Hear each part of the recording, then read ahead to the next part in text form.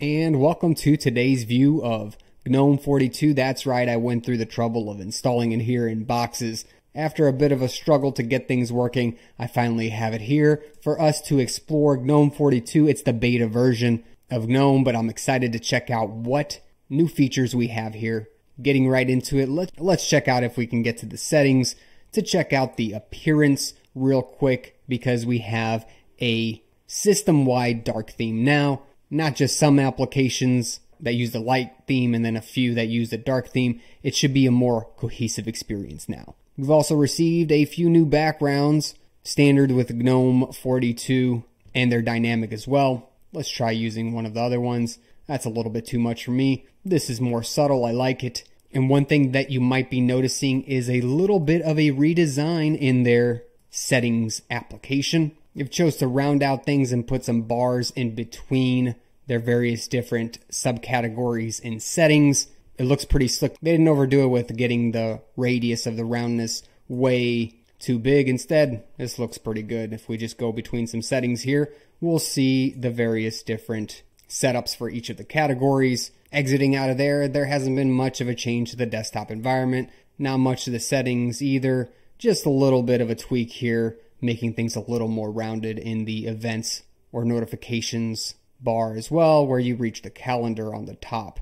On the right hand side, not much has changed here. Again, maybe a little more rounded. So the shell here has become a little more rounded everywhere. As you saw in GNOME 41, we have a new style for workspaces as well as for the applications. The tour app is great to go through if you haven't done a tour or haven't used GNOME 40 or above yet you might want to take the tour real quick just to see some of the updated items that they show you.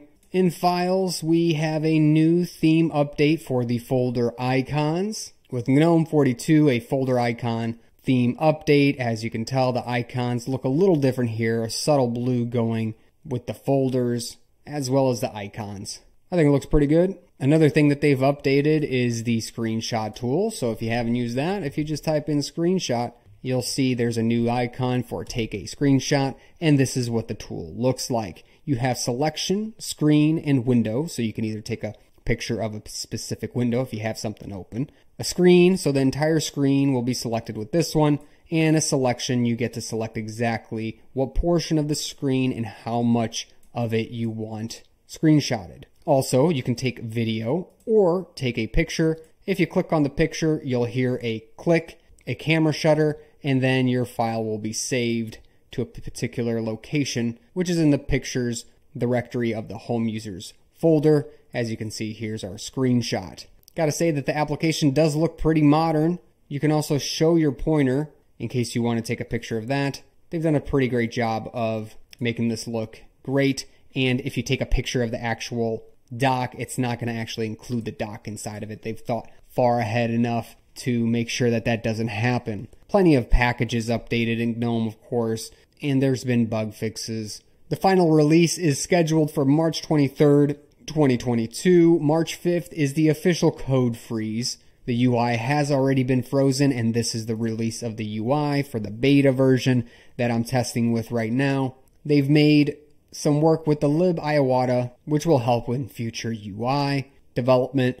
Let's check out the store to see if they changed anything around in there. Looks pretty much the same from what I remember in the last version, GNOME 41. Maybe they've rounded off a couple things in here as well. Another new thing that they've done is they've revamped the GNOME text editor. So let's just open up the text editor here and look and see what this looks like. So text editor 42, the alpha version. And if I start typing in here, SavvyNik was here, we can make a save real quick in our documents. We'll call it SavvyNik and hit save. This is what things look like here. Let's see what else we can do. There's clearly tabbing involved here so you can have multiple documents. Everything seems pretty smooth and fluid as far as moving things around. We can set for line numbers in case you're coding, a right margin if you need it. You have automatic indentation tabs or spaces for those of us who like using spaces instead of tabs. And then you can also specify a document type that way that you can have some syntaxing support. So maybe let's see, C++. Yes, it does. So now we can write some C++ code and it should be able to pick up on that syntax. Let's see if we do that.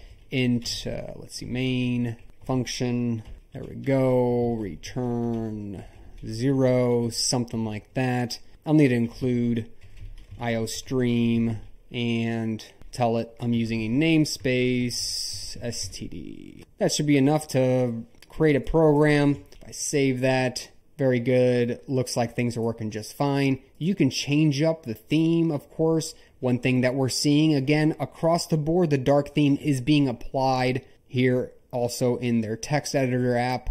You can increase the size of the text 200% is much better, at least for me. Find replace, check out document properties, and overall, you have everything that you could want with a basic text editor here. This is quite exciting. I'm glad that they're revamping things with their new text editor. Well, if you want to check out GNOME 42 for yourself, the beta version, make sure to download boxes from FlatHub, and then you can get GNOME 42. I'll post a link in the description below on where you can download it for yourself. I'll post another link to this page where you can see all of the updates that were made. This is an extensive list of either updates to packages, either in the UI or libraries that got updated. Plenty to read through here if you're very interested in what all is coming with GNOME 42. This is an extensive list. But that's about it. If you made it this far, smash that like button for me. Also, make sure to subscribe below and hit that notification bell for more